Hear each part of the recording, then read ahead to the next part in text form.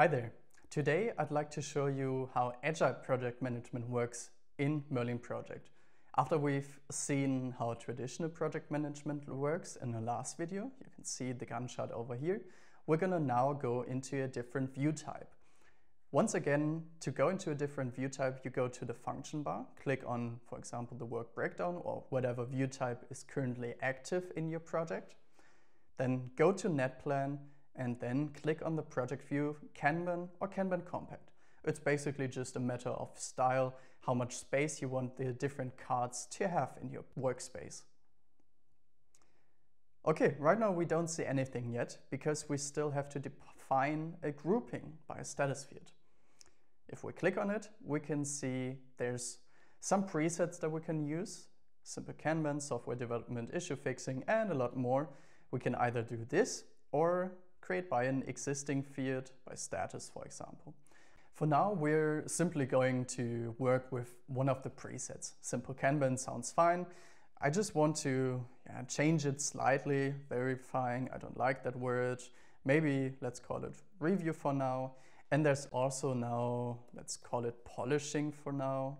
We want to put it after in process and it has like a 70% completion rate. So I just changed a bit to, to show you the features you can add. You can delete status values, you can map it to a certain level of completion, and you can also arrange a minimum and a maximum number of cards that you are allowed to have in each status value. So for example, this makes sense if you're a group of, I don't know, two people in your team and you can only do a certain amount of work at the same time. So you want to maximize the number of cards that you have, for example, in, in progress. Let's say only three tasks at the same time. Otherwise, you're just basically everywhere at once, which is also not really good for productivity, of course. And then we go on, okay. Okay, so you see there's currently all tasks. I'm still working in the same project and you can automatically just see all the different activities now in the Kanban project view. You can see all are in backlog because it's mapping it to the completion rate of your activities in the Gantt chart.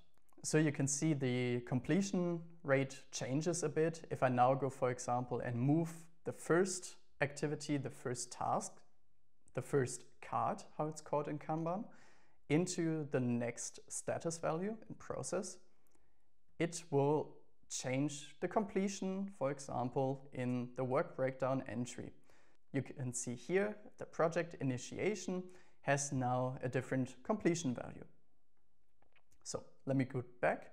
And basically how Kanban works is that you go from one to the next value, to the next value, to the next value, and you can see that your activities are being worked on in process, they're being polished, then they're in review, and then once close this for now to see all. And then once they're done, you can simply put them in done and this activity is finalized.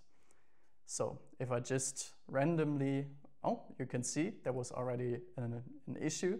Oh, we don't like that. We only want three activities, three cards in the category in process. Um, there's an error there. So now I can basically just move the different cards into different values. These are in review. It obviously doesn't make sense how I do it right now because I'm moving some parts in progress that are happening way later. But just for demo purposes, I want to show you how it affects the completion rate.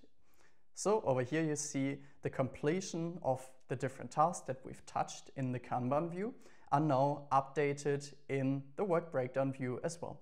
So that's it for Kanban, that's it for Agile for this video.